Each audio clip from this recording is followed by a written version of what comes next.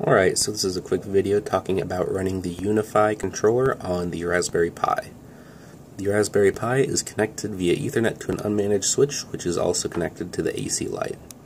This is a great solution if you need something with a small footprint, low power consumption, and have a limited number of access points on your site.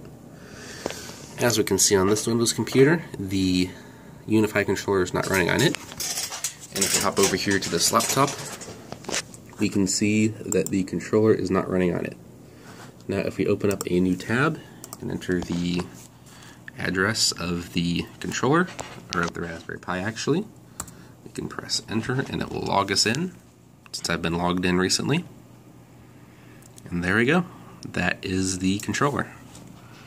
Now if we go over to devices, you can see that we have two connected currently. We have a light and a long range. It'll focus, there we go. Connected wired and wirelessly.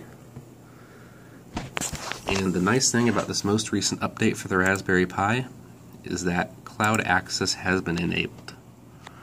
What this does is this allows you to go to the UB or to unifi.ubnt.com and log in with a username and password and this will connect you to your site remotely so you don't even have to be on the same network.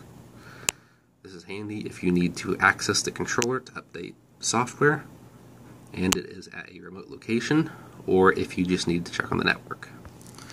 There we go. That is the quick overview of the Raspberry Pi UniFi controller.